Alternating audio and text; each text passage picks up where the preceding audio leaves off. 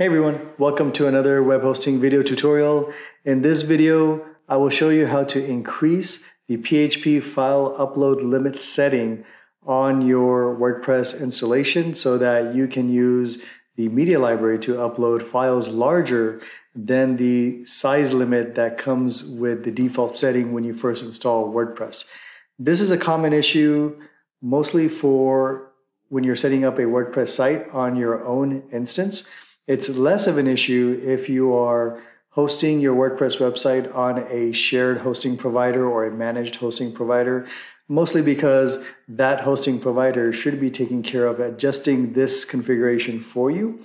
Um, so I will show you how to change the setting uh, in two ways. One, if you are using the Lightsail blueprint of Bitnami to set up your WordPress uh, instance, or if you are using WordPress on your own uh, virtual instance without using that blueprint. Um, whether you're on Lightsail or maybe you're on another hosting provider where you have your own instance there as well. So, without further ado, let's get started.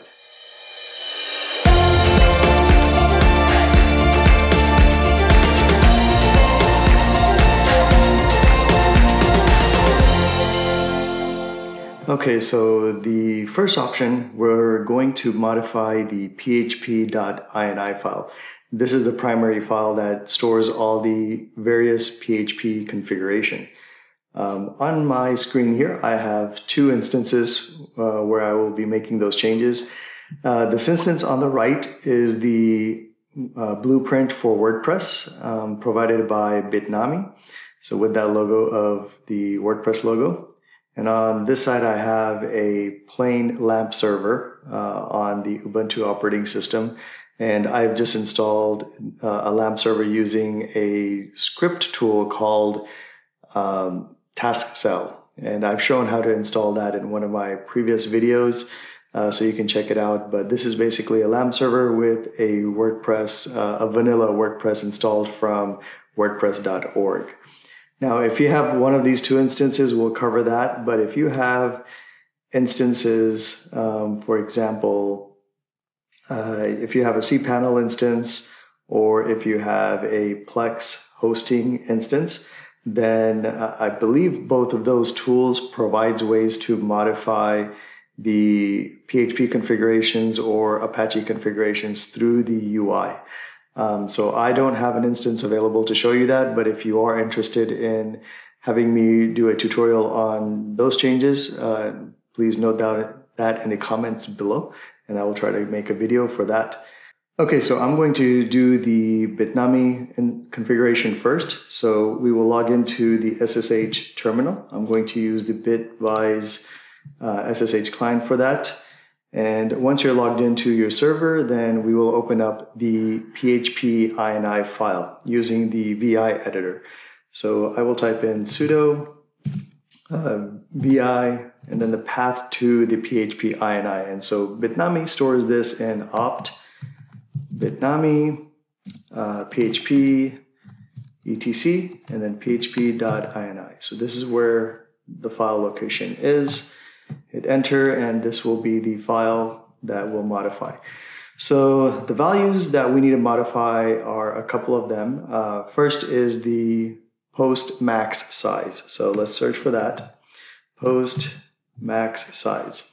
So as you'll see here, the default value that Bitnami uh, installations come with is the um, is with 40 megs. Now, if you need to up update the, or if you need to upload uh, files larger than 40 megs, then this is a value that will change. So in my scenario, I guess let's say we want to upload files into our WordPress site that are at least 200 megs. So I will change this to uh, delete the four and do an insert and add a 20. So that's 200 megs.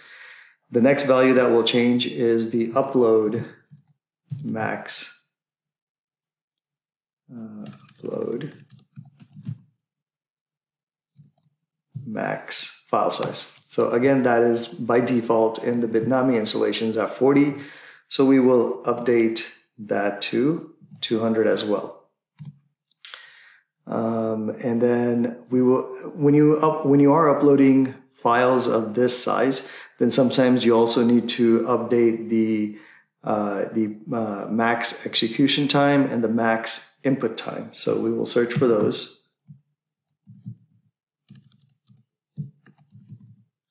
So max execution time is 120 and these are counted in seconds. So let's go ahead and uh, up that to 300.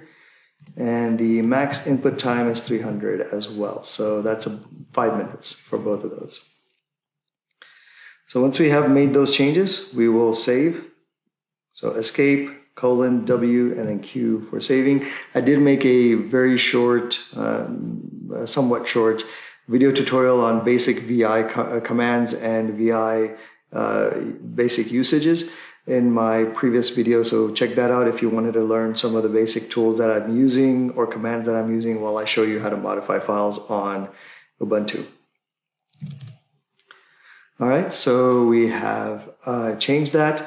Let's now restart the servers and we should be seeing the new values applied. So to restart, I will copy and paste this command. And this will restart um, Apache and reload all of our settings for the new settings that we applied for PHP.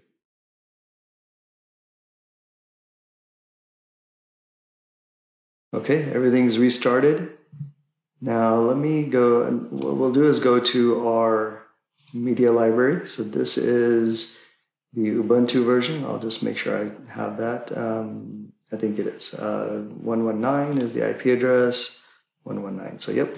So, in this one, if you hit add new, uh, I'm inside the WP admin, um, clicked on media library, and then add new, and you'll see that the max file size is showing as 40. Now, if I refresh this page, once I refresh it, the new values get take effect. Um, we will see, we should see a different size, the size that we set.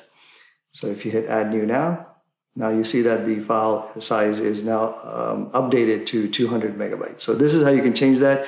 You can modify 200 to whatever is your requirement for the Bitnami um, installation. Okay, so now let's do the same modification to our other instance. The other instance again is a Ubuntu installation where I've just installed a plain LAMP server as well as a vanilla WordPress installation that uh, we installed from the WordPress.org site. So let's take a uh, look at how to do that. Um, I'm going to go back to the SSH terminal, this time log into the Ubuntu server using the Bitvise SSH client. So here, let's modify the php.ini configuration file. So to do that, type in sudo vi slash etc PHP 7.4 because we have PHP 7.4 installed on here and Apache 2, then php.ini. And here we're going to do the same searches. We'll search for uh, post max, and you'll see here that this value is set at 8 megs, so we will modify that to be, let's do 250 megs on this server. And uh, look for the upload max, configuration, and that's set at 2 megabytes. So let's modify that to be 250 megabytes. And then execution time. Time, okay. And this one here is set to 300. So we will increase that to, uh, set to 30 and we will increase that to 300. And then max input time, we'll also update that to be 300 as well.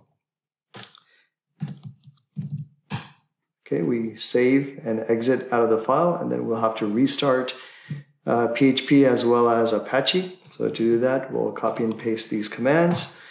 And you'll find these commands to copy and paste on the WordPress um, web hosting for beginners.net WordPress site. Uh, I have all the posts for all of my videos um, on that site, so you can go ahead and check those out. When you're running through those tutorials, you can use that uh, post to copy and paste commands quickly.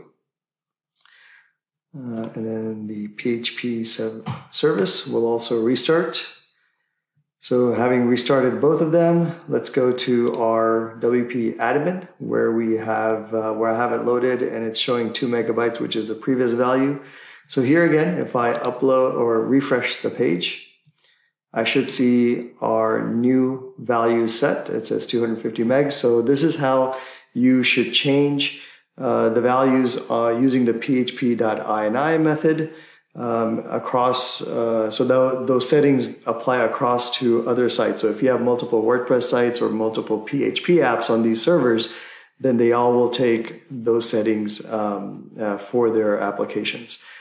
So I hope you found this video useful on quickly configuring your WordPress sites to be able to handle larger file sizes for uploading into the media library. Um, if you did find it useful, give it a thumbs up, like the video, subscribe if you haven't to the channel so you get future videos around web hosting tutorials as well as how to or as well as how to's in the WordPress world. Um, please share this video to others that may also find it useful.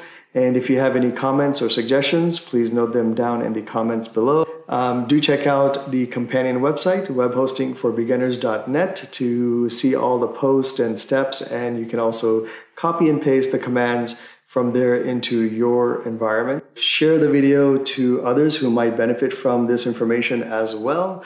Uh, check out my channel. I have over 50 tutorials on hosting, primarily on the Lightsail platform. We have WordPress tips and tricks and many other web services that help you in running your WordPress website. So don't forget to check out the other videos. Thank you for watching and until the next video, take care.